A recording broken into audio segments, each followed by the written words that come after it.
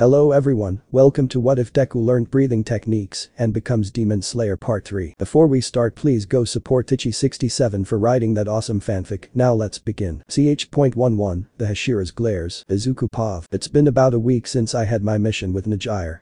She calls every once in a while, but she's usually busy. Her and Momo met a couple days ago, Momo tried to kill her when Nejire asked if she was willing to share. Nejire later said she was just kidding, but Momo clung to my arm the rest of that day, while glaring at Nejire. Nejire told me she's gotten a little better with fellow slayers, but she still relapses sometimes. However, I still said I was proud of her and to keep trying.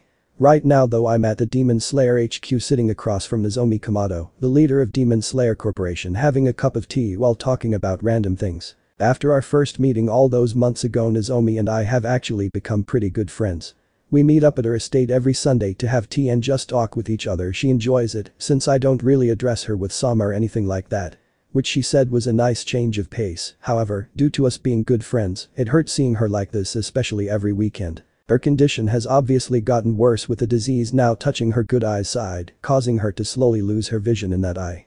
She now needs help getting places with her successor, Aki Kamado, leading her everywhere. Aki is a six-year-old girl that looks exactly like her mother, however she oddly mature for her age, obviously trained for when Nozomi finally passes away and when she has to take over. The reason for today's get-together was different, today Nozomi will introduce me to the Hashira and explain to them our goal and my purpose.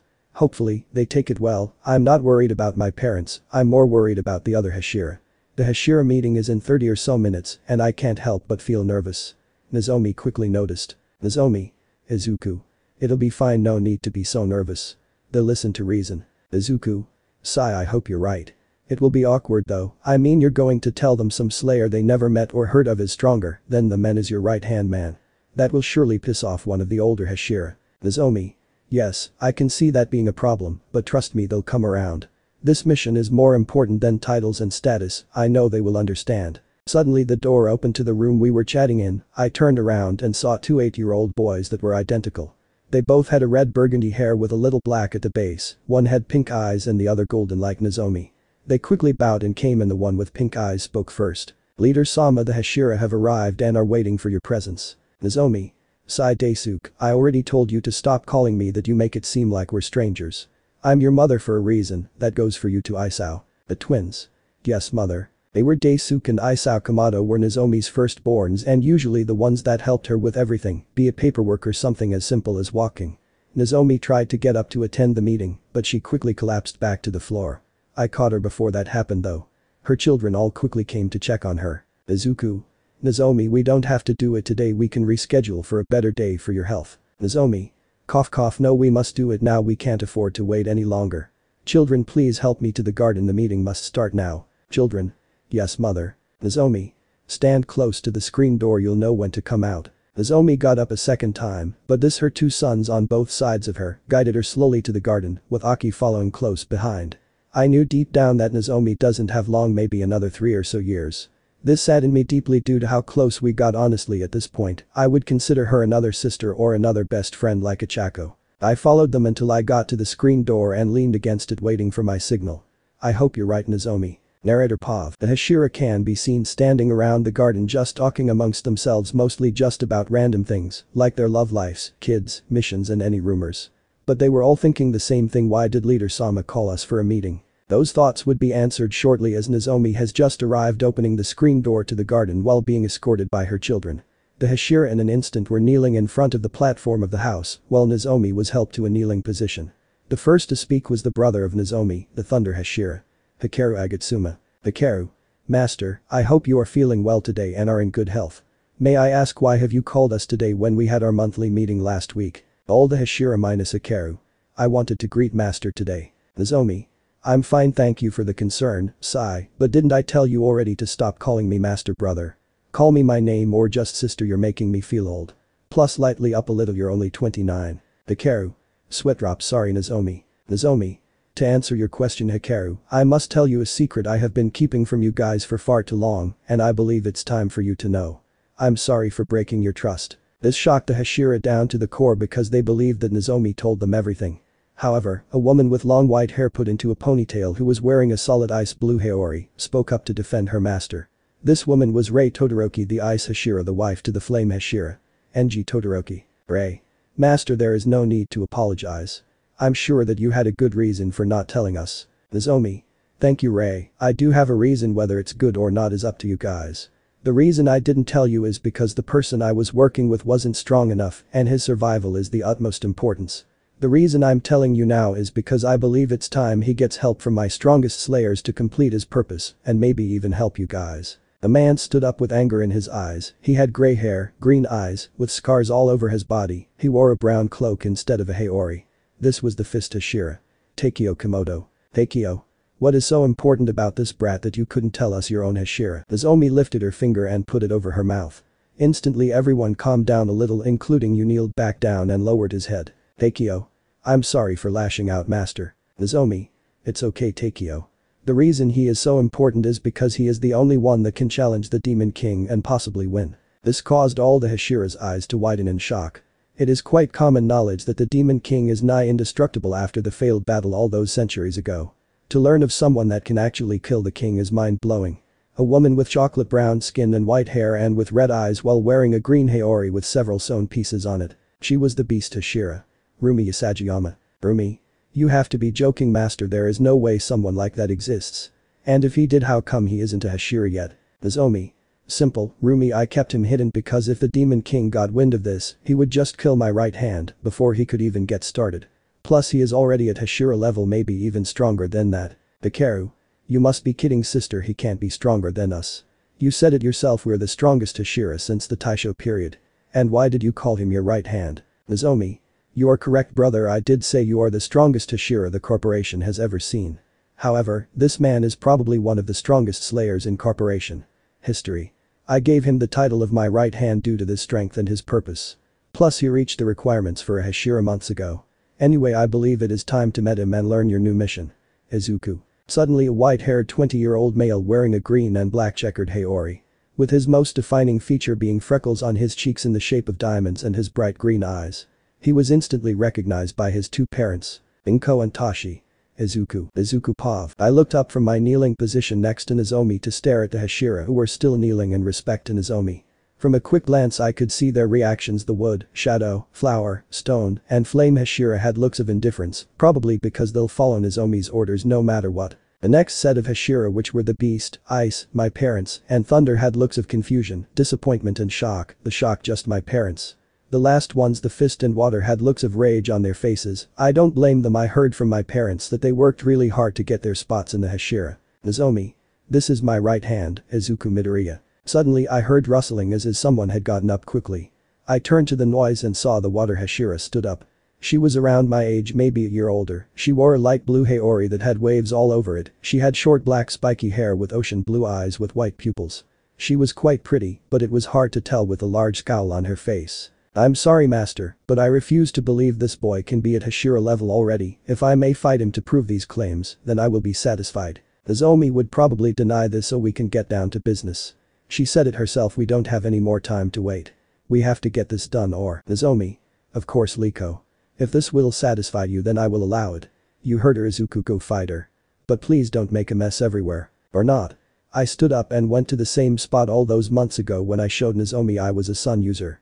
Kinda nostalgic, but now I was going to fight extremely pissed off female Hashira. Now that I thought about it I haven't spared with someone since I was still Tsuguko under dad. Do I still have to hold back like I did against Izumi? Well she is a Hashira, so I think she will be fine. Also I can feel that she is strong but not as strong as me. I looked up and saw. What was her name again? Never mind, she has her sword drawn already, I can tell she is strong with water breathing, due to her sword being completely blue. I quickly got mine ready for the duel. Izuku. We don't have to do this you know. No backing out now, prove to me that you belong at master's side. Izuku.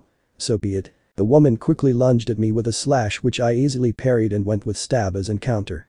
She however quickly dodged and went with a upper monk cut to slice my abdomen.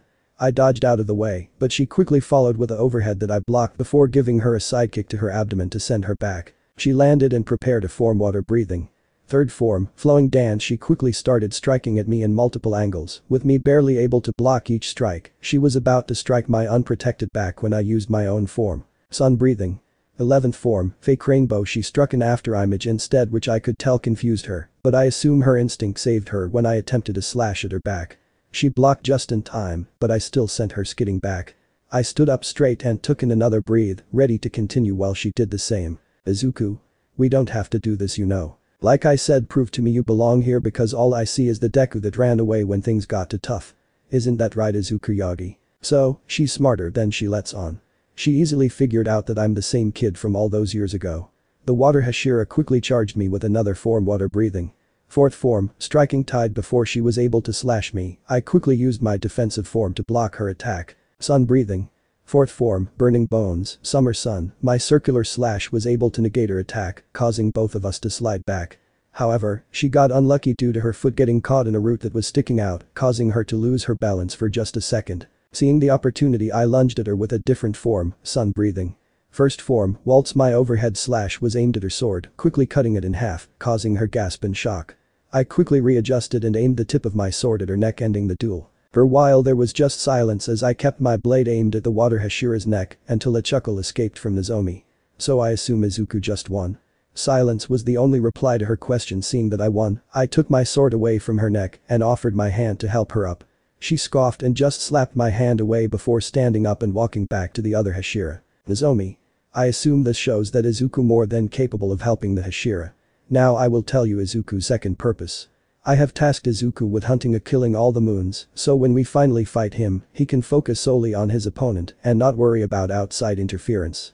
Izuku has already killed lower moon 6 and 5 and any replacements for the fallen moons. However, I know for a fact that each moon after them will be harder than the last, if this was back in Taisho period I know for certain that Izuku could kill all the moons himself and fight the Demon King, but times have changed. Also this is a great way to build relations with each other, is it not smiling? Nozomi, Anyway that's all I wanted to talk about, you each will be working with Izuku in hunting moons. You'll find out when I send the mission alerts. Also I must say this, do not tell a single soul what happened here today, not even to your Tsugukos or family members. This is now considered a corporation secret and cannot get out to the public. Have a nice day my Hashira and please be nice to Izuku. Nozomi soon got up with the help of her children and left. After she left the other Hashira soon left also with them not making any effort to talk to me which I understood why. The water Hashira gave me a glare before leaving. The only ones that tried to talk to me were my parents, but I gave them a look saying that we'll talk somewhere more private. They understood and left shortly after until eventually it was just me, I sighed and quickly flickered away to head home. I hope everything goes according to plan Nozomi, unfortunately we can only hope. CH.12 The water Hashira. Liko Pav didn't see that coming did ya? Nah I'm just kidding you guys are smart. It's been two weeks since the Hashira meeting where we were told the bullshit about this new Hashira or something similar to a Hashira. How dare that bastard so easily become one and the gall to say we answer to him. I respect Master with all my being, but that was still too much for me. I can accept a new Hashira, I was fine with learning his purpose, but I will not tolerate being told we help him. I don't care how strong or important his breathing is we are still his seniors and we should be shown the respect of one. To make it worse the message I got from HQ it seems like I'm going to be the first Hashira working with him. What's concerning me even more though is it seems like Momo got a boyfriend and refuses to tell me their name or that he even exists. I mean it's not like I'm going to hurt him that much. I got out of bed after laying there for a while, questioning whether I should kill Momo's boyfriend first or the new guy. I was broken out of thoughts by knocking at my door. Momo. Master breakfast is ready, Liko. I'll be there in a second Momo. I got out of my bed stretching a little while walking to my wardrobe. I opened to change into the uniform that I have worn far too many times, mine wasn't anything special, just the normal uniform with the traditional wave haori that has been in my family for centuries. I equipped my new sword to my hip, good thing the replacement came in just in time. I looked in the mirror before I walked out and as usual the same old me stared right back. The usual empty blue blues, the usual short spiky black hair, the usual scowl. Mom would probably say what happened to that beautiful smile. It died with Jiichi, mom. I looked away from the mirror and started my short journey to the dining room for breakfast. The water estate was probably the smallest and plainest of all the Hashira estates. That mostly happened because my ancestor was a simple man and liked it like that. Eventually it just became genetic so the estate stayed plain. I walked by some of my apprentices that greeted me as soon as they saw me, they were practicing in the garden, probably to pass the time until they got a mission. I have 8 apprentices all with varying skill the one thing they do all have in common is that I adopted them after their parents were killed by demons I was tasked to slay. Even though my face doesn't show it I love them as if they were my own kids, I hope they know that. I hate to say this, but I wish none of them will become my Tsuguko, but none of them are strong enough in water breathing to achieve that rank anyway. I know it's cruel to think that, but I don't want to lose anyone else. Though each one does have their strengths but far more weaknesses. Aka is too rigid with her movements and lacks the grace that's needed for certain forms, but she is definitely a kind girl. Yoko still needs to work on her arm strength, but she's getting there however she can always brighten a room with that smile. Michi has trouble with stamina due to a lung condition got while she was young, I still believe she can make a fine slayer. Nami is probably the strongest of the lot, but she still lacks refinement in her forms. I still need to work on her anger problems, but I probably wouldn't be the best option because I'm no better. Maybe I can get Asami to help me with that. Rini definitely has the grace in the forms, but her lack of strength cripples her, however, due to her small nature, she also has some confidence issues. A girl's night out should fix that, but maybe some therapy from Mizuki could help. Siki is the newest addition to this little family barely with us for a month. She is still getting used to all of us, plus she barely started learning the basics, so she's a work in progress. Gina unlike the others lacks speed, she has the strength and grace, but she isn't as naturally fast. She also can be a little blunt at times due to her lack of understanding emotions. Mizuki can probably also help her with that. Finally there's Momo, she is the oldest of the eight being the first one I found and saved. She struggled with everything and I could tell as the other girls came around and learned the breathing faster. She was suffering from self-confidence issues and even depression, it wasn't like she wasn't training hard enough, it just seemed like she wasn't compatible with water breathing. I recommended that she should start practicing a different technique, but she was determined to be just like me. The problem was I don't want any of them to be like me. But Momo ran off to final selection without my approval and also took it at that place. I was worried, scared, pissed all of the above. But imagine my shock when she came back alive, plus she finally performed a form. Ever since things she has improved drastically and I couldn't be prouder even if I don't show it. I stopped reminiscing once I reached the dining room seeing Momo had put my plate down already and was putting the rest of the plates down. I sat at the head of the table and looked at the food. Just some simply salmon radish a family traditional food. Don't know why though. I waited for the rest of the girls before I ate, they eventually arrived, and we said our thanks. As usual Momo made a masterpiece and got compliments from the rest of the girls, causing her to blush. Yoko. This is really good Momo. Momo. I just put it together I didn't do much. Nami. Nonsense Momo you're an excellent cook. Have more confidence already damn it. Liko. Calm yourself Nami. Nami. Sigh yes master. Momo. How did you like it, Siki? Siki. I it's G good. Gina. So Momo do you cook this for your boyfriend Izuku? Silence then the pressure came making everyone freeze. Liko. Tick mark sweet smile could you please repeat that Gina? Gina. I I ask if Momo makes th this for her boyfriend. Master's scary. Liko. Tick mark sweet smile know his name and all of it please. Momo. You um master why do you want his name? Liko. Tick mark sweet smile no reason. Suo, Momo when were you going to tell me that you had a boyfriend? Momo. Um you see about that. Um I was going to tell you because you know I love you as a mother. But I really like this boy and I didn't want you kill him. So please forgive me Bose. Liko. Sigh it's okay Momo I don't blame you. I can be a little crazy sometimes. Picks up glass cup to drink so what's his name and how long have you been together? Momo. Um I say about a month at most, he is really sweet once you get past the layers. I think you would like him master. Oh his name is Izuku Midoriya. Crack crack. They all look at me seeing the glass I was holding slowly start cracking. I put it down to make sure I don't make a mess or hurt my hand. Liko. Well would you look at the time. It seems I better start heading out for my mission. Be safe girls, I'll be back hopefully in the morning. Momo we need to talk we I get back. Momo.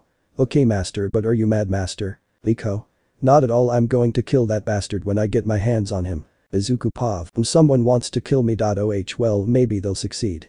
Anyway I better start heading to the location I was given.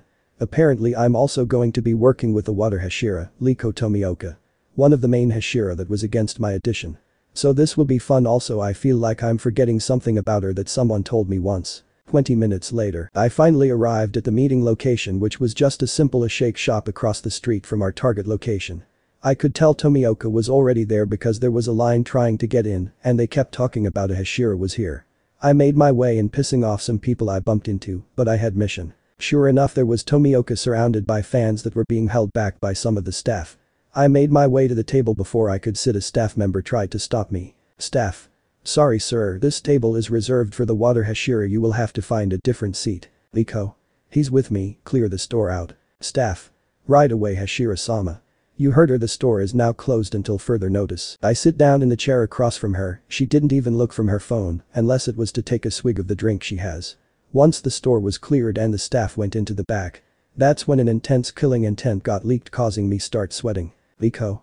So you're the one dating my apprentice that's basically a daughter to me. Izuku. Oh fuck. Liko. Give me one good reason why I shouldn't kill you right now. Izuku. Um well um because Momo loves me. Liko. Dot. Izuku. Dot um, Tomioka-san. One minute later, narrator Pav. Izuku can be seen tending to his cheek where there was a large slap mark. Liko had now cooled down a little, but she was nowhere near done with Izuku. Now it was time to talk business, Liko took out a report that had everything they needed to know. Liko. From what the reports say Lower Moon 3 is hiding in Tokyo Resort, the 5-star hotel across the street. We can't confirm but from our sources it is around 80% chance of it being true. Izuku. Anything weird happening in there? Liko. The staff reports of a odd odor that smells like sewage, but it only appears in the upper floors. Also it seems like there's been a steady increase of people disappearing in the upper rooms, especially the suites and penthouses. Izuku. Well from that info there's definitely a demon lurking there, but there's only one way to find out if it's the moon. Stands up is there any information on the blood demon art? Liko. None we're going in blind. Stands up I'll go straight to the upper floors to investigate while you track the odor and question the visitors. If anything happens we message each other. Izuku. Dot sure. Liko. Good, let's go. Walks away. Izuku Pav. We walk to their destination with the sun blazing high in the sky, with it probably being high noon. Liko and I walked and you could tell the hotel had lost some business due to the disappearances, which is probably is another reason why we're called in.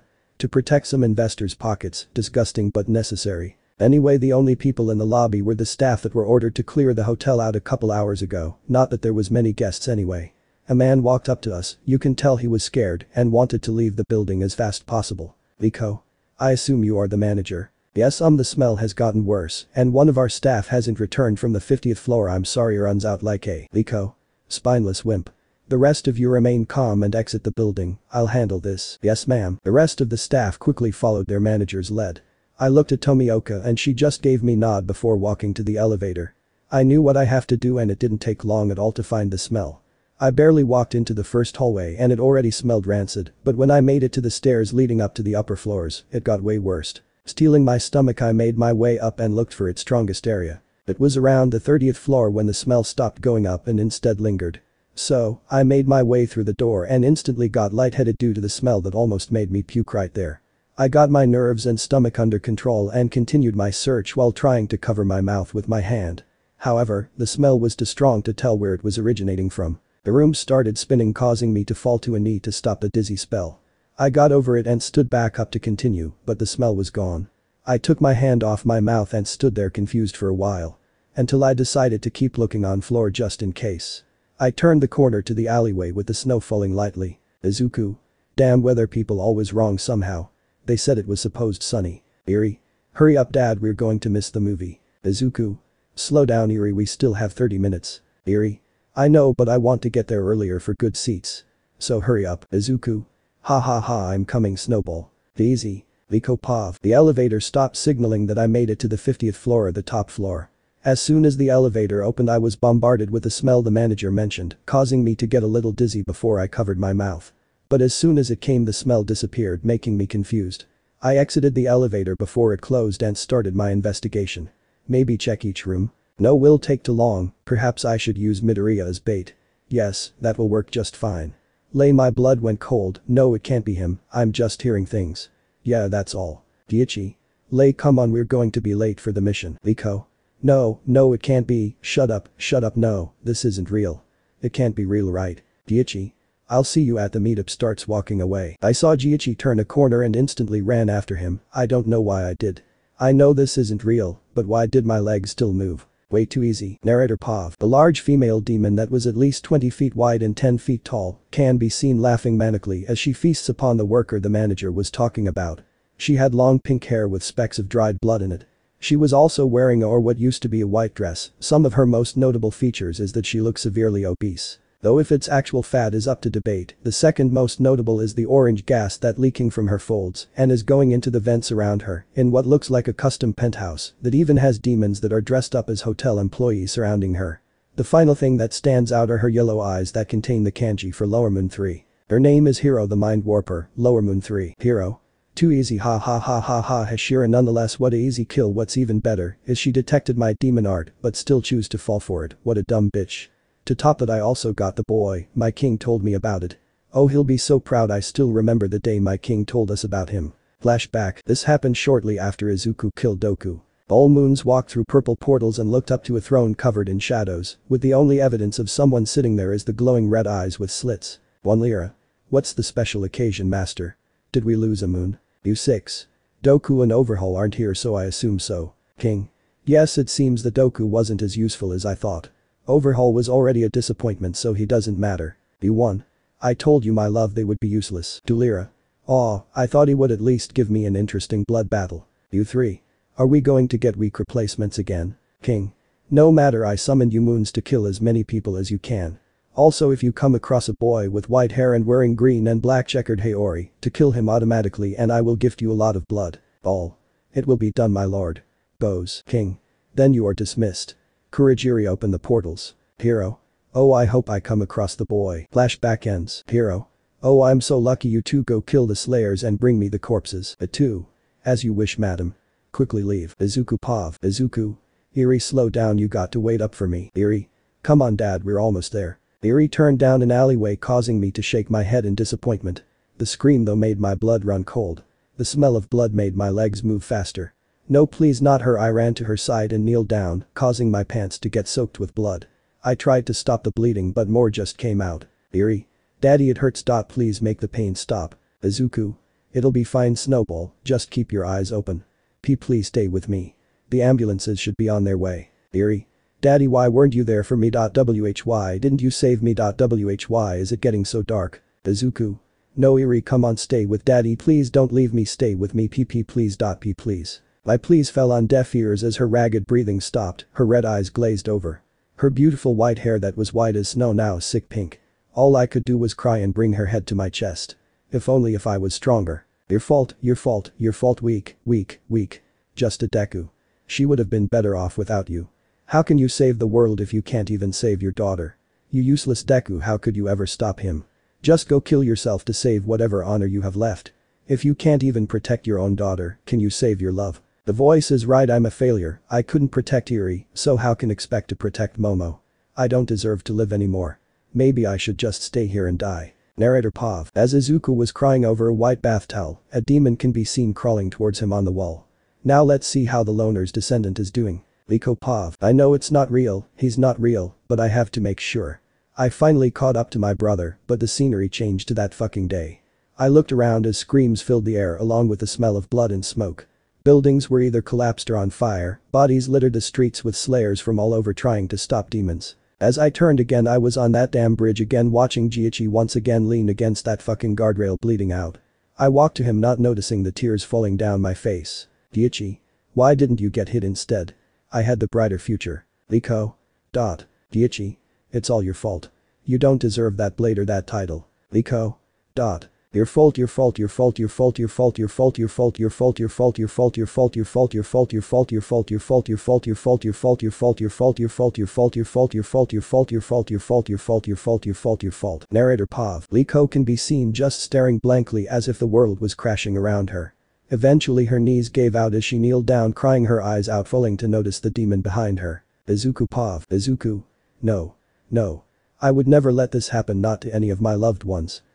This is a fake world, I would never let Eri get hurt. I pulled out my sword and cut my forearm causing the illusion to break and returning me to a hallway. I then swung my sword to the right killing a demon that was probably sent to kill me while I was in my trance. I covered my mouth to make sure I didn't take the air in which I assume is what caused the illusion. I looked down and couldn't contain the anger I felt as the Eri I was crying over was just a white towel. I picked up the towel and wrapped it around my mouth and nose making a makeshift mask and turned around and headed towards the stairs to reach the top floor. Izuku. Hold on Tomioka, I'm on my way. Liko Pav. Liko. I'm sorry Jiichi, but this wasn't my fault. All I can ask is to forgive me and to wait for me. I drew my sword and cut the demon's head off that was behind me, causing the illusion to break. I wiped my face before covering my mouth with a towel that was on one of the maintenance carts. All I felt right now was rage, and it was all directed at that damn moon.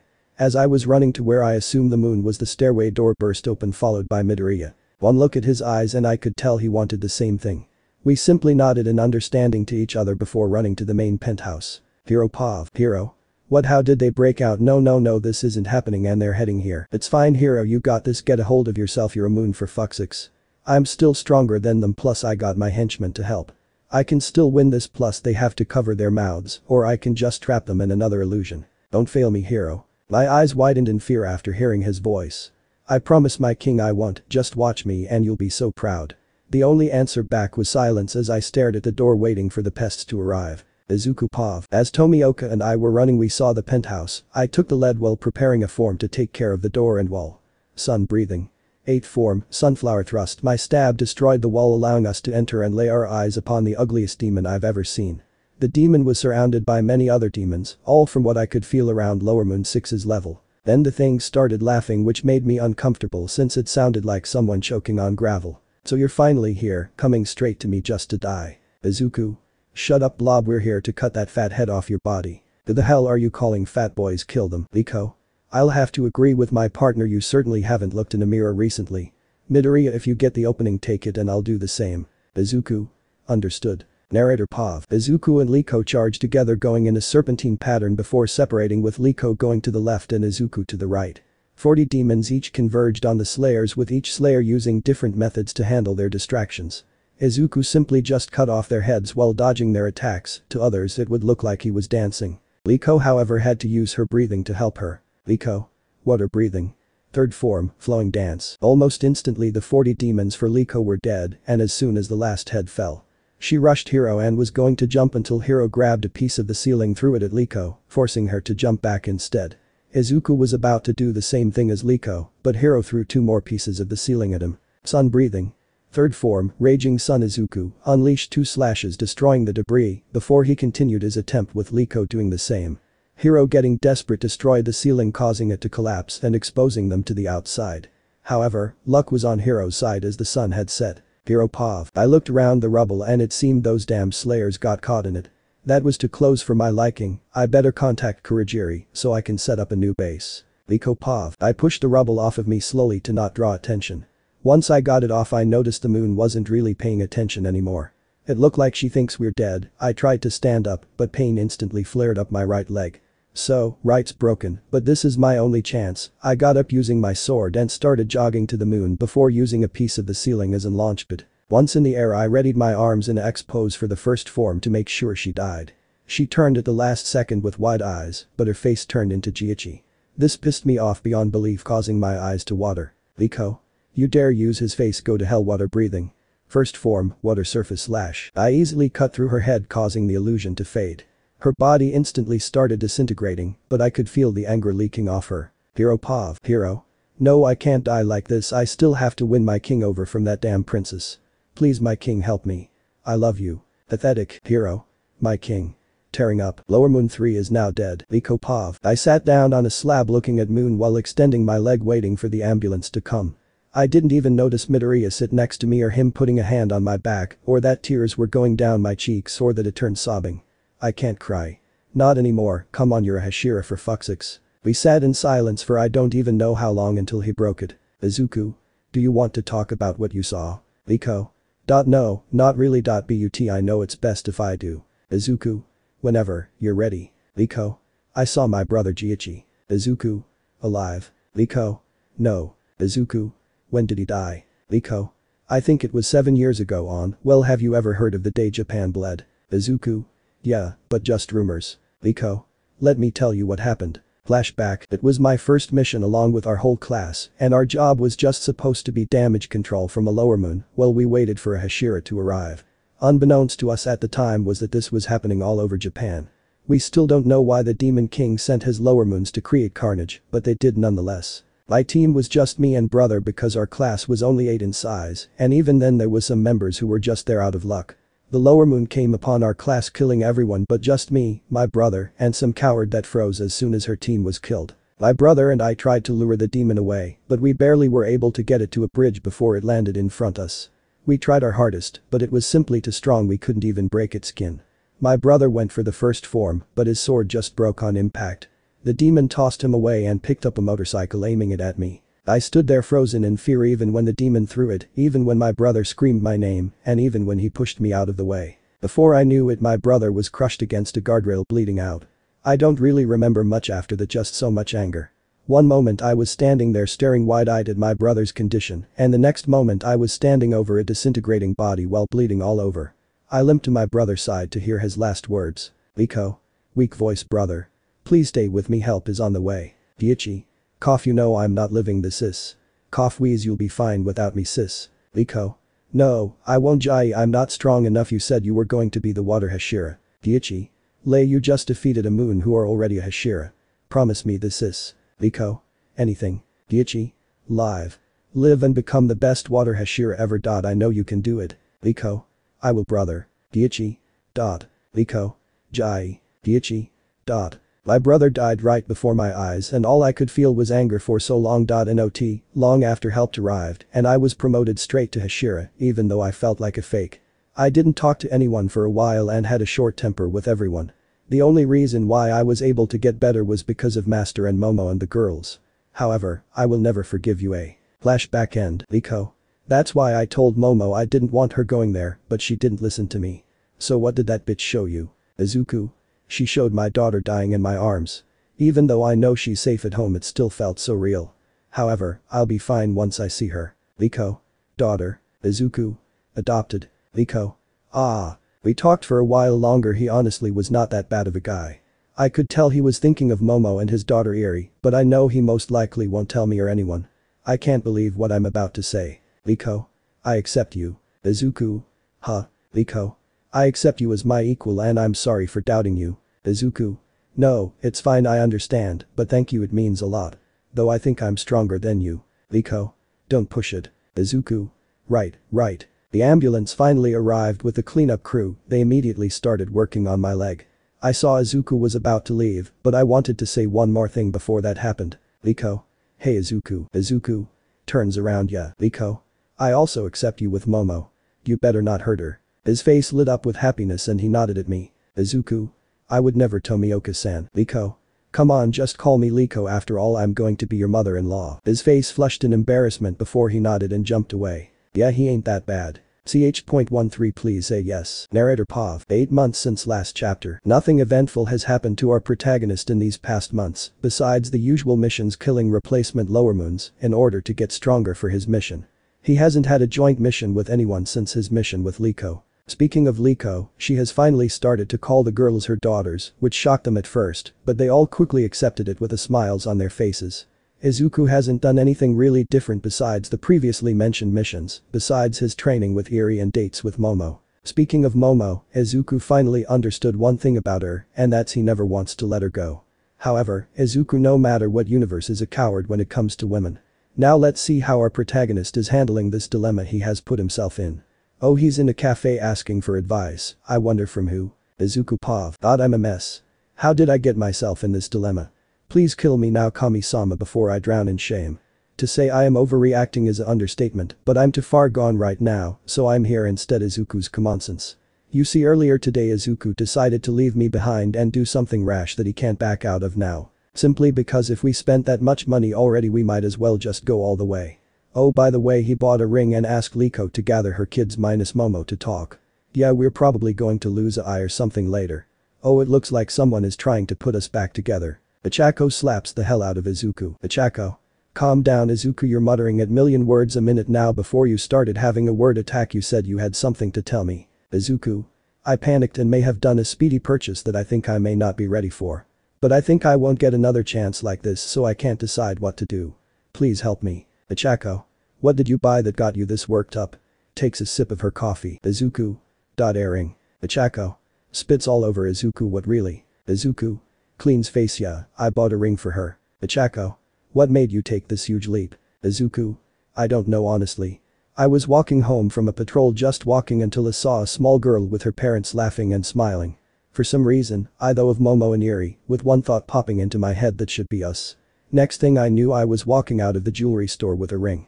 So, what do I do? Ochako. Propose. It's obvious you love each other, sure this is happening a lot sooner than I expected, but I knew this was going to happen eventually. Also this can't be the only thing that's bothering you. Tell me Izuku. Izuku. I'm scared. For the first time in my life. I'm scared. Ochako. Izuku. Look at me. If Momo says no, no if any girl ever denies your proposal then they aren't the one. I know it would be hard if she did, but you have your family and friends to bring you back up from that dark place. It wouldn't be the end of the world. Also I know Momo and she would never say no to you, even if she thought she wasn't ready, she would still say yes because she loves you Izuku. There is nothing to be afraid of because I already know her answer. So cheer up Izuku, shoot your shot and live with the results. Izuku. Thank you Ochako, I really needed to hear that. Ochako. I'll always be here for you Izuku just like you would for me. So, this is the least I could do. Izuku. Well if there is anything you need help with just ask. But there is one more thing. Ochako. What? Izuku. How do you ask for a blessing? Ochako. You still haven't. Rubs head in annoyance of course you haven't just don't say anything stupid and you may keep eye. Izuku. Well better than nothing thanks Ochako I really do appreciate this. I have to go though Liko is expecting me soon. See you later. Izuku leaves. Ochako. Sad smile as long as he's happy. No stop it Ochako you can't be like that, dot but maybe in another life that would have been me. Oh well they love each other and I can't do anything about it besides be a good friend. A small tear escapes her eye before being quickly wiped doesn't mean that it still won't hurt. Narrator Pav. After his talk with Ochako, Izuku was feeling a little better about talking with Liko and Momo's sisters. However, he couldn't shake the feeling that he just made a grave mistake and was about to die.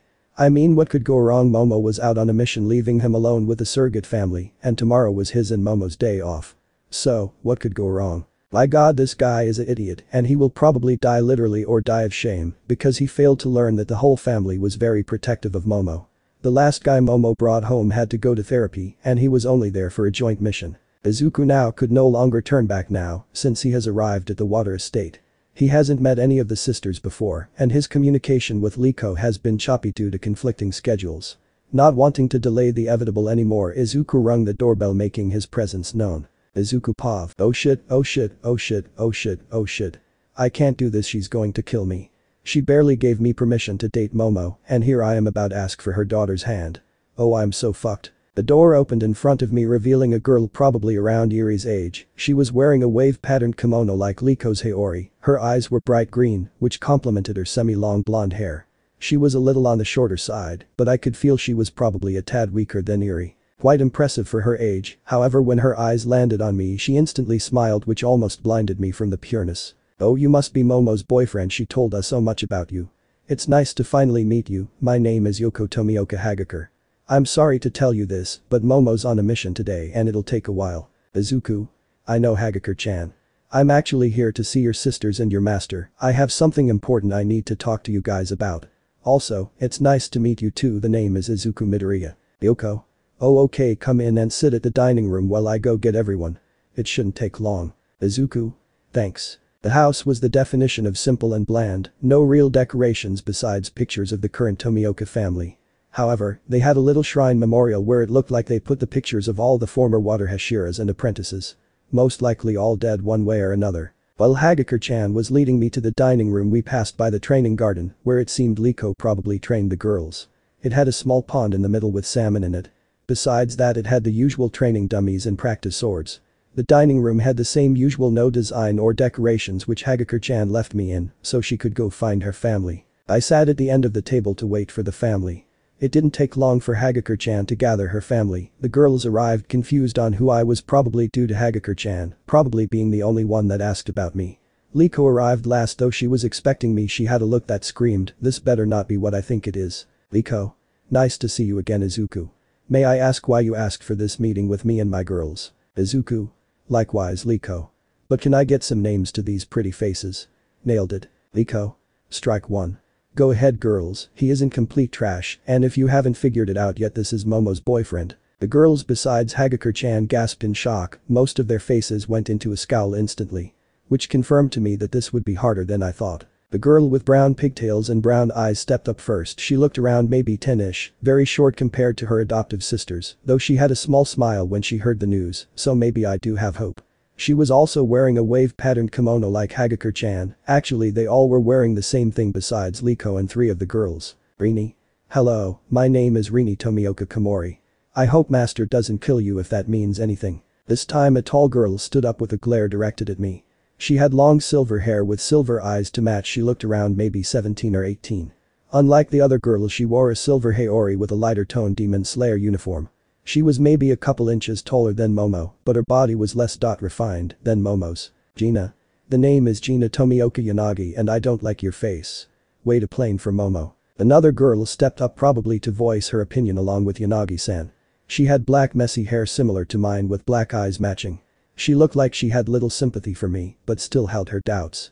She also looked around 17 years or so and wore the same Haori as Liko with the Slayer uniform underneath. Michi. Hello, my name is Michi Tomioka. I'm sorry about Gina she can be blunt with her thoughts sometimes. This time a girl that held a scowl and a glare on her face stepped up. She had a faded short haircut that left a lot on the top, with it mostly being pink. Her yellow eyes held a lot anger, and honestly it looked like she just wanted to kill me. She also wore a Slayer uniform, but this time her Haori had a pink wave pattern on it. Nami. This Deku doesn't belong anywhere near Momo. Yoko. Be nice Nami, Momo loves him very much. Just give him a chance and introduce yourself. Nami. TSK Nami Tomioka Ishido. Yoko. See that wasn't so hard. The last two girls stepped up together with it seeming like the older of the two helping the other with her shyness. Evident by the younger one hiding behind her. The older one looked around 15 or so with long dark green hair with matching eyes. The younger one looked around maybe 8 and she had short white hair tied in a ponytail and a magenta-like eyes. They both wore the wave-patterned kimono. Taka. Hello my name is Taka Tomioka Tokage. It's nice to finally meet you, and this little one is my sister Siki. Come on introduce herself. Siki. Steps out a little from behind Taka H. Hello my name is Siki Tomioka Yuzui. I I it's nice to meet you. Izuku. Same to you and also to the rest of you. Momo told me great things about you guys. Nami. Cut the crap. Why are you really here? Liko. I would have to agree with Nami, Izuku. Why are you here? Izuku. Oh great Kami, please make sure I leave alive today. I came here to ask you all for permission. Liko. Permission for what? Izuku. Takes a deep breath I want permission to propose to Momo. All the girls minus Liko. What? Nami. Not going to happen. Yoko. You're going to be our brother. Gina. Momo deserves way better. Taka. Oh my. The loud slam stops all the shouting. I look to see Liko had been the one to slam the table with her hair covering her eyes. She stood up and started walking to me. Well I tried, I'm sorry Momo it looks like you're going to have to find a new boyfriend. I bowed my head to at least make the beheading less painful, but a hand instead was placed on my head. I looked up in shock to see Liko having a small smile on her face. Liko? Small smile please make her happy. That's all I ask. Small tears came out of my eyes and stupid grin came onto my face. Izuku, Thank you and I will until the day I die. I'm Skip, next day, 6.30 pm. Narrator Pav. Izuku can be seen with putting on a suit with Eri, Toshi, Inko, Master and Izumi sitting around talking words of encouragement for Izuku so he doesn't puss out. All had the same feeling for Izuku in their hearts, pride. Eri at first was a little reluctant in the idea of Izuku marrying Momo because she believed that Ochako was better fit but she saw Izuku genuinely happy with Momo so she let it go. The parental figures for Izuku just felt proud for the young man before them. Izumi was ecstatic. While Master remained his usual non-caring self though he won't admit it he was also proud. Izuku was wearing a simple black tuxedo with his hair once again having some green back in the roots, with the rest still being white. To say Izuku was nervous is an extreme understatement, Izuku is downright terrified right now. Muttering up a storm which he has never done before, hopefully it doesn't become genetic. Izumi. Calm down Izuku everything will be alright, she'll say yes. Izuku. But what if she doesn't? Dad how did you propose to mom? Toshi. Oh I kinda just asked her one day and she said yes. Izuku. Damn that was useless, what about you master? Ever married? Toshi deflated after that hopefully that doesn't become genetic either. Master? Nope. Eri. Dad calm down. You know Momo loves you and you love her. This isn't hard just propose and if she says she isn't ready doesn't mean you have to stop loving her or her to you. Izuku. Thank you Eri, I'll try. I better get going it's almost time. You'll find out tomorrow if it's good news or bad news. See ya. All. Good luck Izuku. Izumi. Oh fuck how am I going to tell his sim club he might be engaged. They don't even know Momo and Izuku are dating. It didn't take long for Izuku to arrive at the water estate to pick up Momo who had her hair down and was wearing a strapless red dress that highlighted all the right places. After that they started walking to the nearby fancy restaurant where Izuku got a reservation for though it did cost an arm and a leg. You my viewers may be wondering it's night and they're going out to eat and have a date, what about the demons?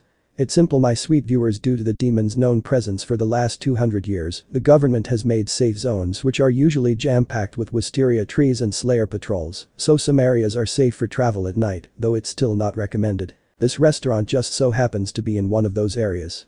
Back to the lovely couple that are now sitting at their table eating their main course. Momo. So you still haven't answered me, what's the special occasion for all this? Izuku. I can't spoil my girlfriend with a nice date, also I told you, later all will be answered. Momo. Come on just tell me already, don't be mean to me. Izuku. Nope, anyways I heard you got a promotion what rank are you now? Momo. Oh I did I'm at Tsuchinoto now I'm happy, but I'm still one below Izumi and Shoka, so I got some catching up to do. Izuku. Hey that's good though it means you're getting stronger. Do it now you coward. Oh my god yes I will. Izuku and Momo turned to see a man had just proposed to his now fiancé and were now celebrating. Effectively ruining Izuku's moment which caused Deku to go to plan B. Momo. Anyways I'm finished what about you? Izuku. Same, let's go I want to take you somewhere before we go back home. Momo. Led the way then. After paying Izuku took Momo's hand and started to lead her to the same park they went to on their first date. Unknown to Momo, Izuku was fidgeting with a box in his pocket. They soon arrived at a small grove of wisteria and looked at the full moon together. Izuku psyched himself up real quick to do what he wanted know what he needed to do. Izuku. The moon is lovely tonight isn't it? Momo. Yeah it really is. Izuku. Momo I need to ask you something. Momo. What is it? Izuku. Do you love me? Momo. Of course I do. Izuku. Would you be there for my darkest days? Steps back a little. Momo. You know I will. Izuku. Would you love Eri as your own? Momo. I already do. Izuku what or why? Izuku. Would you stay by my side until the day we die? Starting to kneel. Momo. Izuku. Izuku. Momo will you marry me? Shows the ring. Izuku Pav. Silence filled the space instantly causing me to look away from Momo. Damn it I knew it was too soon, I ruined it fuck, she's going to say no. A small hick made me look up to Momo who had her mouth covered with her hand and tears falling down her face. S, she's crying. A smile erupted on her face before she tackled me into a hug, making me almost drop the ring. Momo. Crying and sniffling please take care of me Izuku. Izuku. Tearing up I will with all my body and soul. Puts ring on her finger. I'm too blessed, I really am too blessed. Thank you Momo for being the one to completely destroy the darkness on my heart. We shared a kiss as the wisteria trees seemed to glow in the moonlight around us. This is what I wanted no I needed, thank you my creaty. I don't even remember going home that night. Narrator Pav. Location. Unknown. The man sitting on a throne can be seen looking down through a portal with a fleshy edge to spy on Izuku and Momo's little proposal with slight interest in his red slit eyes. He couldn't help but smirk with a little playfulness and mischievousness in his eyes. So you're soon to be married huh? The man snapped his fingers and two demons appeared before the man, their eyes slightly glowed showing the kanji for lower moon 2 and 1 kneeling before their king. Reveal yourselves to the slayers and kill the boy I told you about before get it done. Now leave. The demons quickly replied, yes my lord. Before disappearing in the same fleshy portals. My love it seems this boy has your interest a pair of eyes opened behind the man with both of them covered in shadows, each having their eyes as the only discernible features, with the new voice's eyes saying upper moon 1. I want to fight this boy at his peak and need those useless lowers to make him improve. Oh I can't wait to fight him. Said the male with excitement in his voice. I don't think he would stand much of a chance my love, even if he does eventually awaken his mark and red blade. Plus that last sun breather was a complete waste of time, didn't you let him live after you broke his blade? Said the female with doubt evident in her voice. I know the boy's extremely weak now, but I'm hoping he put up a fight later on. Also, yes the last sun user was a letdown. What did you say this new one's name was again love? Izuku Midoriya the last sun breathing user, trained by that old coward Hara Midoriya. End chapter. Next chapter CH.14 Massacre. Time for some modern secrets. Siki is the descendant of Tengen Uzui the past sound Hashira. Her family continued the sound breathing and shinobi tradition until they were all slaughtered by Upper Moon 3, leaving Siki as the only survivor of the family. Izuku actually got swindled when he bought the engagement ring, he paid almost double the original price. Izuku is too embarrassed to tell anyone. Izumi has turned down both Bakugo and Todoroki for dates, saying that she saw them only as brothers effectively destroying both boys' confidence and starting their pursuit for Momo which obviously also failed. The Kanroji family in honor of their late daughter became doctors solely to help treat slayers and offer little rest stops for them. To this day they still have family members working as doctors in the Kanroji hospital chains and attendants in the Love Hashira's diner. CH.14 Massacre, narrator Pav. Two weeks after the proposal, 9.30 am, it didn't take long for Izuku to get the next call for a moon. He would have preferred to stay with Momo a little longer, but he needed to get this done. Izuku can be seen jumping from rooftop to rooftop to the meeting location which is a high school that is still in use. The report said that there might be a moon hiding among the students or the staff, but this moon being immune to the sun, rare but not impossible. Ever since the Demon King became immune every once in a while a demon gets that lucky trait. Any demon blood art is unknown, and Izuku will be working with Mizuki Harada, the Shadow Hashira and Hisoka Nakayama, the Stone Hashira. Hisoka was an extremely tall man by Japanese standards standing at 6'5 with brown curly hair and green eyes, he unlike the other Hashira, didn't wear a haori, but just a uniform. Mizuki had wavy jet black hair that had grey tips and black eyes, she wore a hexagon-style haori with a black base and dark grey lining. Izuku however has not worked with these slayers before, so he is a little nervous. Izuku arrived in the front of the school and watched in amusement as the stone and shadow Hashira were hoarded by fans and students of said school. Ah the beauty of not existing. Thought Izuku with a smirk on his face that quickly got noticed by Hisoka from the corner of his eye. Oh Midoriya-san come join us we were just about to meet the principal shouted Hisoka, which caused half of the fans to rush Izuku questioning him on how he knows the Hashira. Well played Stone, well played thought Izuku as he was consumed by the crowd with Hisoka laughing loudly and Mizuki just standing there. Just standing there. A minute later, after the crowd finally dispersed with students going to class and civilians going about their day. We can see the slayers standing together waiting for one of them to break the ice. Hello we didn't really get to know each other before, the name's Izuku Midoriya. It's nice to meet you. Said Izuku to Mizuki and Hisoka who were silently grateful he broke the ice. I mean Hisoka and Mizuki have worked together before, but it's usually very awkward or just straight business. Hello Midoriya-san, it's nice to meet you also the name's Hisoka Nakayama, and this is Mizuki Harada she doesn't talk much. However, I will be honest with you, I still have my doubts about you, so let's see what you can do. Said Hisoka while Mizuki just stared at them with a blank face. I see, well I won't let you down. Let's go see this principal. Said Izuku with enthusiasm which Hisoka returned with nod and followed Izuku inside. Mizuki continued to stand there. She still standing there. Mizuki meanwhile that whole time was panicking inside her head on how to respond to Izuku's hello. As you may have guessed by now Mizuki is extremely shy and has a hard time communicating with people especially men, which is why she usually does joint missions with the female Hashiras. Okay play cool Mizuki just say hello back, but what if they think my voice is weird? No, come on do it coward don't disappoint, master and Inko senpai shouted Mizuki in her head as she tried to hype herself up. H hello oh my n Nami is Ms. Mizuki, Ni nice to meet you. Stuttered Mizuki to no one, when no one responded Mizuki looked up and saw no one was there. She turned around and saw Hisoka and Izuku walking into the school. They left me behind shouted Mizuki in her head as a tears fell from her eyes, along with her soul leaving her body out of embarrassment. Inside the school, Izuku, Hisoka and a depressed Mizuki can be seen walking to the principal's office.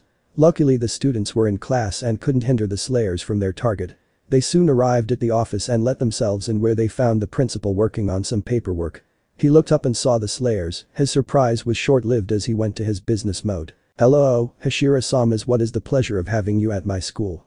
Asked a principal who stood up from his chair and gave a small bow before gesturing them to sit on his office couch. Good morning Principal Tanaka. My colleagues and I are here because we believe you may have a demon lurking in your school. Have you noticed anything strange or have there been disappearances of students? Asked Hisoka keeping a keen eye on the principal in case he is the target, Izuku and Mizuki doing the same. He doesn't have the aura or feeling of a demon, so he's good, but he might have been manipulated to forget incidents. Thought Izuku as his colleagues also came to same conclusion. The principal thought about the question a little too hard as if it hurt to even think about it. Why yes there has been something wrong here. This school used to have many students working to be slayers, but that has started drastically decrease said principal out of breath as if it took all his willpower just to say that small information. Why is that? Asked Izuku as he noted the struggle the principal was having. BB because all the Slayer hopefuls started going missing outside of the school. Slowly, as more cases popped up the amount of requests for training went down to almost zero. Said the principal who seemed like he just let a huge weight of his chest. Izuku soon felt a huge ill intent and instinctively looked out the window and saw a student on the roof looking down on the office before walking away. It knows we're here now, a sunwalker as well. This will be troublesome. Thought Izuku with a frown, as Hisoka finished with the principal and asked if they could look around which the principal quickly approved. They left the office and started walking the halls that was now filled with students all staring with awe, so what now? Asked Izuku as the crowd was mostly ignoring him so he didn't have problem walking. Since you can move freely, search for the demon and keep eye out for the students. Said Hisoka as he signed another autograph while Mizuki was having a panic attack that no one noticed. Understood, good luck and be safe. Said Izuku as he walked away to follow a girl he thought he saw give them a glare. To you too. Come on Harada-san let's go to the cafeteria there's probably a lot of students there to watch. Said Hisoka while Mizuki gave a small nod which she praised herself in her head for being able to do that. But Izuku, first floor, hallway, 11.45 am. Izuku was following a girl with messy blonde pigtails because he felt something sinister off her. He noticed her while they were standing in the hallway, giving them a creepy look before walking away.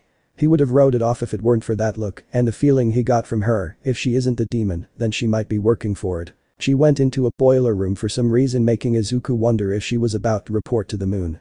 Izuku took out his blade and started his approach to the door. With Hisoka and Mizuki. Second floor, cafeteria.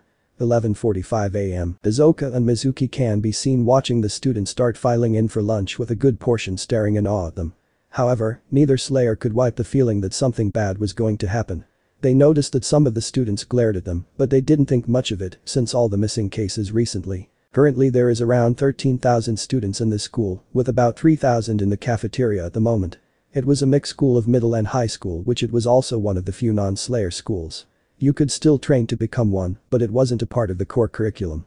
It has three floors with them being on the second floor. Hisoka and Mizuki were about to leave since they didn't notice anything off with students, but before they could leave they were stopped by a bunch of students asking for autographs which they obliged. With Izuku, basement kinda, boiler room, 11.50 am. Izuku walked down at the ready checking his corners and looking through the pipes for the girl. Izuku reached a little open area surrounded by pipes that were releasing steam. Where the hell did she go? Thought Izuku as he scanned around until he felt a presence behind him which he turned around instantly to nothing.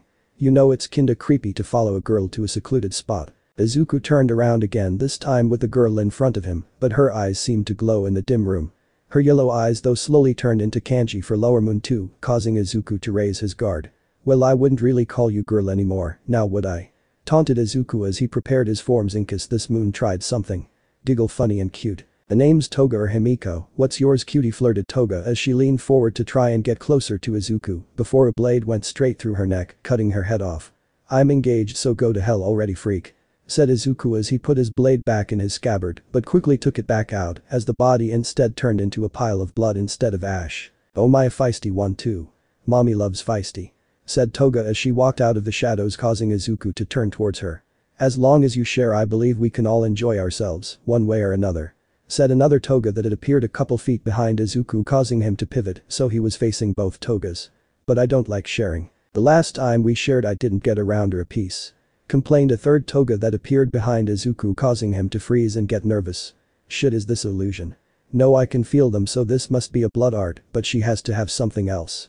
She wouldn't reveal herself unless she had a plan, and if she has a plan then that means this is a trap. Thought Izuku as he eyed all the togas around him who were circling him like sharks who found some prey. I still can't believe master never told us he was such a cutie. Said a toga as she licked her lips causing Izuku to shiver in disgust. So their bastard king sent them for me. He must be worried that I will get too strong. Thought Izuku as he prepared a form. Sun breathing, Seventh form, beneficent radiance Izuku swung around him as the togas charged with a kitchen knife at the same time causing all of them to get cut up before all turning to blood. Shit shouted Izuku before he got kicked into a wall by a toga, but luckily it didn't do any damage to him. You shouldn't be wasting so much time on us blood clones. I mean who's going to protect the students? Taunted a toga as three of them stood in front of Izuku with smirks. What did you do demon? Said Izuku in a cold tone with his eyes narrowed in anger. We didn't do anything. I mean you might have to protect the students from each other. Who knows what can happen when that many people consume master's blood. Said the toga as they all started howling with laughter as Izuku's eyes widened in horror as alarm went off above them, along with screams that were filled with terror and pain. It didn't take long for Izuku to rush out of the boiler room as the clones to continue to cackle with laughter with Hisoka and Mizuki just as soon as Toga made that food comment. Second floor, cafeteria, 11.59 am. Hisoka and Mizuki had small smiles on their face as they watched the kids laughing with each other, but their faces morphed into confusion and concern as most of them seemed to have gotten a stomachache. Then the demon alert alarms went off shutting down the school completely, locking down the cafeteria, shutting all windows with metal and a red light, followed by emergency alarm going off. As they looked back at the kids after looking around at the lights and unsheathing their weapons, their faces morphed into horror as they watched almost all the kids were demons and were attacking the remaining survivors. Blood quickly covered the room causing Hisoka and Mizuki to grit their teeth in frustration before leaping into the fray to try and save the survivors. Though Hisoka hesitated when the first demon lunged at him, he completed his form anyway. Stone breathing. Third form, stone skin shadow breathing. Fourth form, Dusk. Hisoka instantly kills 10 demons by swinging the axe side of his weapon, beheading all of them, and protecting a couple of students that had bad injuries, which unfortunately looked like they wouldn't make it. Mizuki looks as if she's traveling in the shadows, as each time the red lights blinks off five demons drop with no heads. After her form ends due to her slightly slipping from all the blood on the floor, she had already killed 50 demons, but more just kept coming, causing the Hashira to get in each other's way giving Hisoka idea. Stone breathing. First form, Serpentinite Bipolar. Hisoka throws his axe and flail at the locked door, while rotating it with the chains making a makeshift drill, easily destroying the door and a small portion of the wall. Mizuki goes search the school for survivors, and that damn moon while I handle this shouted Hisoka as he started spinning the flail part of the weapon. Mizuki didn't need to be told twice as she darted out of the room at immense speeds. I'm sorry children, I failed to protect you, and now you are abominations. Hisoka said solemnly as he stared at the demons in front of him with pity before his eyes hardened. As my duty as a Hashira and to atone for my failure. Let me put you to rest. Said Hisoka as the, the demons lunged at him the same time he threw his flail at them. But Mizuki. Second floor, east hallway, 12.15 pm. Mizuki was running down the halls killing any demons that crossed her path.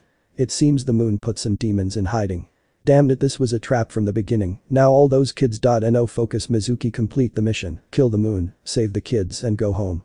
Thought Mizuki as she turned down another hallway before stopping. Down the hall was 50 demons munching on some kids, while some were trying to break down a door to a classroom. Mizuki quickly prepared a form by lowering her sword down to her knee. Shadow breathing.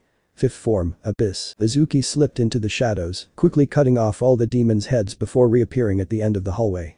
To outside observer it looked like all the demons just collapsed instantly, though the form has a cost.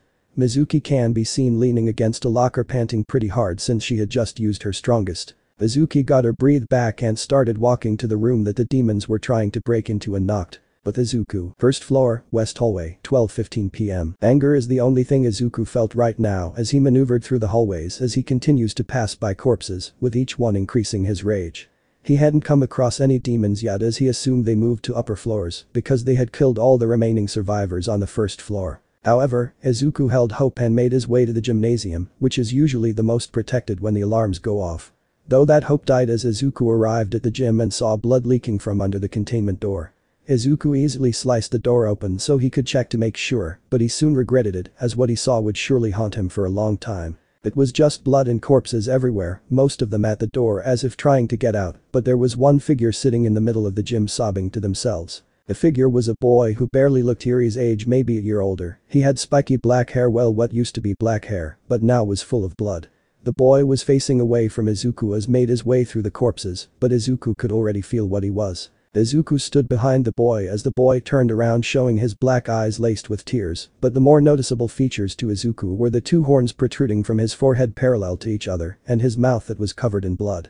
I didn't want to mister I just wanted to eat my lunch in here. But I got so hungry, I couldn't stop myself until they were all I did this why did I do this, cried the boy in anguish as Izuku's face stayed the same with no interest in what he was saying. Izuku drew his blade out of his sheath which the boy noticed but didn't say anything.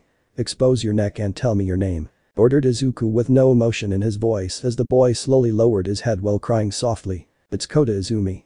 Tell my aunt I'm sorry.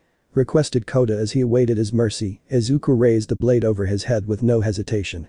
I pray that in the next life you will live with no demons and never become one. Be proud you died with humanity. Stated Izuku as he brought his blade down snuffing out another demon's life. Izuku stood there in silence for a few seconds after he put his blade back before turning around and jogging out to look for more survivors. With Hisoka, second floor, cafeteria, 12.30 pm. Hisoka can be seen crushing another demon heads with his flail, while his axe cuts another one's off. The room was at around 7,000 or so demons before now it was a little over a hundred and Hisoka showed no signs of stopping. Stone breathing. Fifth form, Arcs of Justice shouted Hisoka as he manipulated the chains so that the axe and the flail would take out separate demons, killing both instantly. The couple tears started falling down his cheeks as he continued his assault. They aren't like the other demons. They didn't ask for this, but I know that I have to stop this myself. Forgive me children it won't hurt for long. Sadly thought Hisoka as he crushed another two demons with his flail as the tears continued to fall. But Mizuki. Second floor, biology room, 12.40 pm. Mizuki stares at the few survivors she has found four high school students and one middle schooler, all with terrified faces with one girl bleeding out pretty bad. You keep pressure on the wound. I'm going to look for more survivors do not open this door unless you hear three knocks. Ordered Mizuki as her timidness disappeared due to the intensity of the situation. The group only nodded dumbly before she left and started running up the stairs to the third floor to continue her search. Mizuki turned down a corridor before spotting 50 demons standing there as if guarding something before one launched themselves at her. Before they could hit her she was already gone as if he tried to attack his own shadow. Shadow breathing. Second form, a gloomy overcast. The demon that had tried to hit Mizuki all of a sudden lost their head, then the next demon and the demon after him. The rest of the demons tried to run, but you can't run from your own shadow. As the last demon fell Mizuki walked over to a music room, opening it to five more students, hiding all looking scared out of their mind. Go to the biology room and knock three times it should be clear. Oh now well it's safe. Ordered Mizuki as the students quickly followed her orders scurrying out. Mizuki however didn't notice that one of them stood behind her with a sick grin. Thank you so much, Miss Hashira we could have never found the others without you. Stated the student as they walked closely to Mizuki. I thought I told you to G shouted Mizuki before she got interrupted by a cold knife entering her abdomen. With Hisoka. Second floor, cafeteria. 12.45 p.m. Hisoka stood silently in an empty but bloody cafeteria with tears flowing down his face. His flail and axe covered with blood along with his hands. Hisoka then slapped himself breaking him out of his trance. Come on let's go look for Midoriya-san and Harada-san. Thought Hisoka as he started to jog out of the cafeteria before stopping in the middle of the hallway. Stone breathing. First form, Serpentinite Bipolar. Hisoka aimed his attack above him making a giant opening in the ceiling, then jumping up into the hole entering the third floor.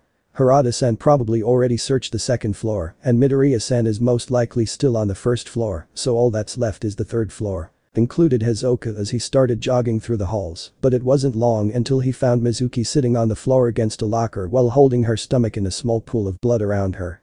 Harada what happened? Shouted Hisoka as he crouched next to her helping apply pressure to the wound. The moon. Wants Midoriya. They have multiple arts. It can shapeshift. Take me to the bio room. Second floor. Other survivors. Knock three times. Croaked out Mizuki before she passed out from the blood loss. Hisoka not wasting any time picked up Mizuki bridal style, then sprinted towards the bio room. Come one Izuku it's all up to you now. Defeat this fucking demon. Thought Hisoka in anger as he finally had arrived at room. With Izuku and Izuku POV. I was angry. Everywhere I went just more blood and bodies but not a single demon. I felt a new feeling today futility. I couldn't save the many of them and to make it worse it was all a trap for me. I caused this. dot This massacre. No, I need to atone for this, I need to kill that damn demon. Then I will kill their fucking king, I didn't even notice Harada-san running towards me until she shouted my name, but something was off with her. Oh Izuku I've been looking everywhere for you did you miss me? Said Harada as she tried to do a sexy pose, but I knew something was wrong with her. Is she the moon, but I thought her ability was clones. Before she could get any closer I cut off her head and just as expected it turned into a pool of blood. Narrator POV. Toga jumped from behind a corner with clear annoyance written on her face. Hey how did you know I had her voice down shouted the Toga, as if she were throwing a tantrum. You don't understand emotions or social cues so it was pretty easy. Now do me a favor and die said Izuku as he appeared in front of this toga about to cut her head off, but this time she actually dodged it instead of taking the hit. So she's the real one. Concluded Izuku as he tried again, but was quickly dodged and counterattacked with a small knife that Izuku knocked away. Izuku however, noticed that the knife glowed faintly as if it were hot. Two togas then broke off of the man toga attacking Izuku with knives, but he quickly disposed of them, which made the main toga cringe slightly, which didn't go unnoticed by Izuku. Three separate arts, but how? Well doesn't hurt to ask. Thought Izuku as he stared at Toga who looked a little nervous. How do you have so many arts? Asked Izuku as he readied his blade for anything. Toga looked confused before breaking into a wide grin. Oh that simple eye before Toga could continue Izuku had already cut her head off as it rolled on the ground. Sun breathing. First form, Waltz whispered Izuku as Toga started to disintegrate with tears in her eyes, begging her king to save her. The pleas fell on ears that simply didn't care as he continued to watch in amusement at the pleas. Toga was bullied as a child due to the weird mutation as a kid being born with fangs. Demon was the more tame insult she received as she grew up. She looked up to the Hashira and other slayers wanting to be like them until one of them had a little fun with her when she came for autograph. Broken and traumatized Toga didn't even realize when she walked through a portal and ended up in front of a king that was giving a offer she couldn't refuse. Izuku walked over to the principal's office where he found the man dead, he pushed the body over and used the intercom to tell everyone that the moon was dead and that he's lifting the lockdown. 8. Out of the 12,854 students and staff in the school only 8 survived. The media and the public went into a frenzy since the last time an incident happened like this it was complete chaos. HQ was able to settle down the presses a little, but there was always tension after that. The incident was named the Massacre of Aldera. Hisoka, Izuku, Mizuki and the remaining survivors were required therapy for the next couple of months. Mizuki quickly recovered from her wound with the attack, luckily not hitting anything major. Hisoka, Mizuki and Izuku became good friends after the incident, using it as something in common to talk about and help get over the guilt. Izuku also not on purpose but instinct never let Eri out of his sight after the incident. Now only one lower moon remains and it only gets harder from here, how will Izuku manag? Let me know in the comments below if you guys want the next part. Also check out my other video that has been shown and left. Thank you for watching, if you enjoyed this video please like and share this video. And have a fantastic day bye.